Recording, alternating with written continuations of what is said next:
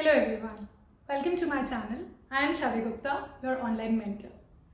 First of all, thanks a lot for being a part of the 20,000 people strong community that we have now.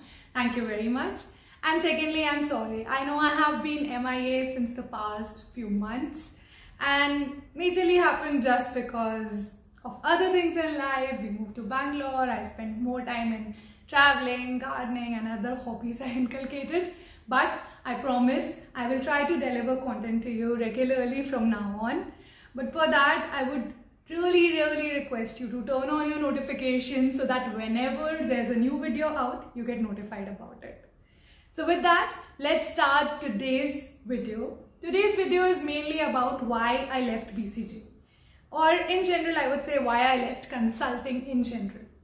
Now, most of you would know is that I joined the Boston Consulting Group, which is a top tier management consulting firm, right after my MBA from IIM Ahmedabad. And I had actually this goal in my mind when I was starting my MBA is that I wanted to get into management consulting. Now with that, why would I leave BCG in around like 7-8 months after joining? Well, I'll tell you the various reasons in this video. But before I start that, I want to tell you that BCG, as any other management consulting firm, is a great firm to have a career at.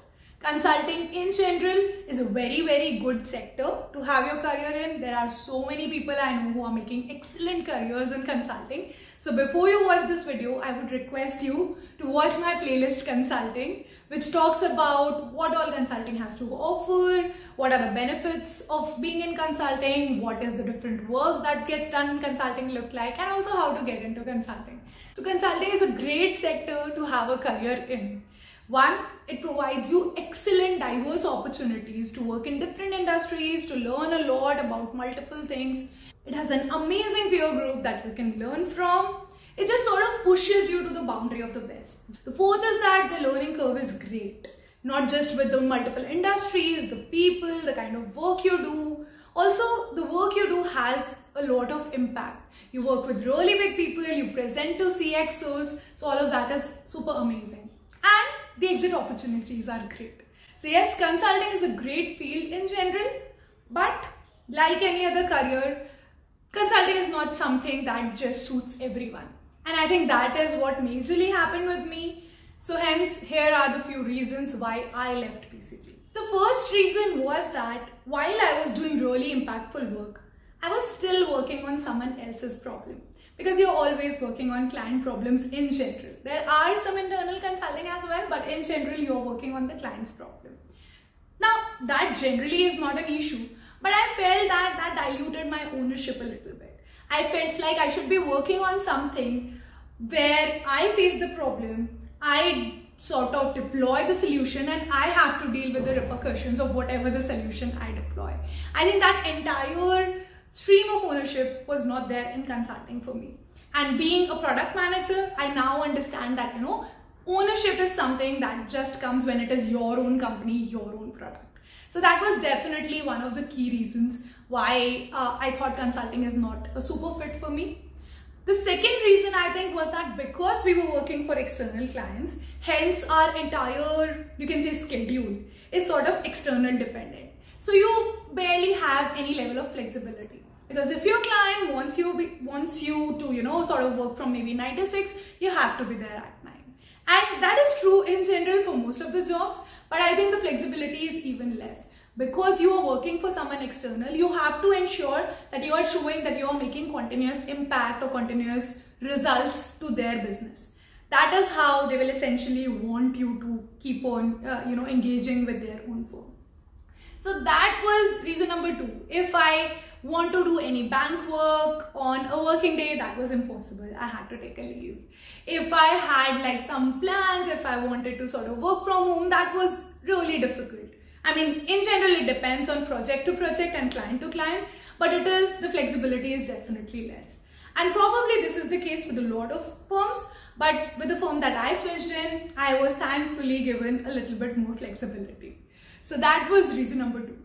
I think the third reason was that the culture or the precedence was set in a way that even on days when you really don't have to, you know, push a lot or work a lot, it is just expected to just, you know, uh, get yourself ahead in some work that might be coming in future. So essentially, do work, do try to push even on days when there's not a strict requirement. Now that is good in general because you learn a lot that. You learn how to work in pressure, you learn how to uh, preempt things, what are the things that will be required. You learn a lot of things with that and you actually learn a lot with your peer group who is trying to teach you that as well. But for me, it felt like I could not really do it in the long run. And that was reason number three why I felt that consulting was not really the perfect fit for me. I think all of this combined with the fact that I wanted to spend more time on my physical and mental well-being and I just have like a range of hobbies that I want to spend time in. I think all of that together just made me feel that consulting is not really working out for me that well.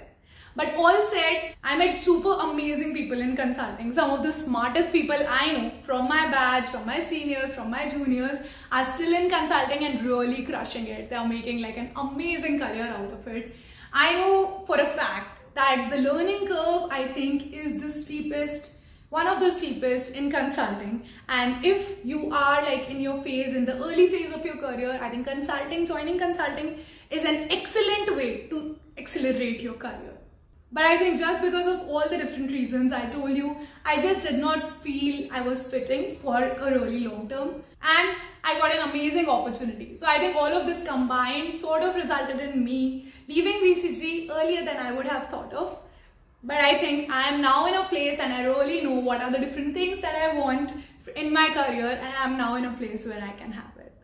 So well, this was very, very candidly why I left consulting Please take this video not as an advice of why not to join consulting or why not to join this entire sector, field, etc.